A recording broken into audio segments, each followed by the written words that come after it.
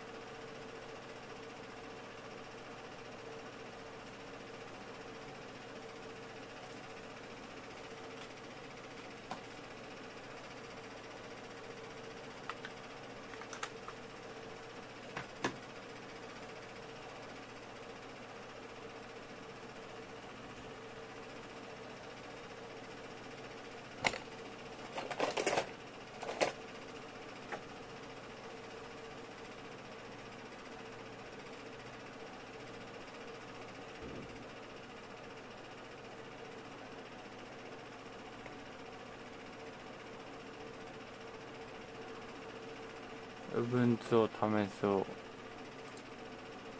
選択します。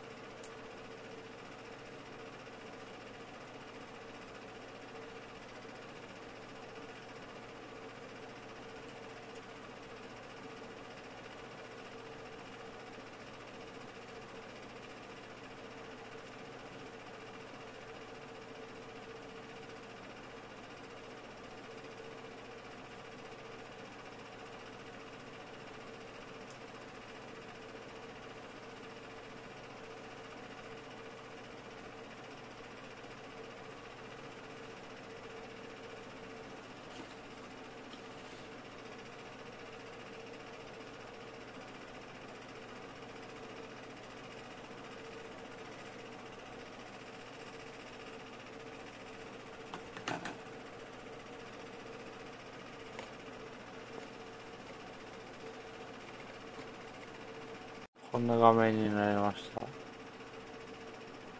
Firefox を起動してみます。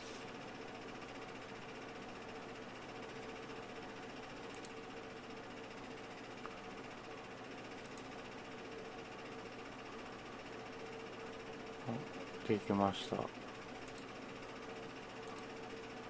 使いやすいですね。これを Chromebook に入れられたらいいんですけど入れ方がわかんないです。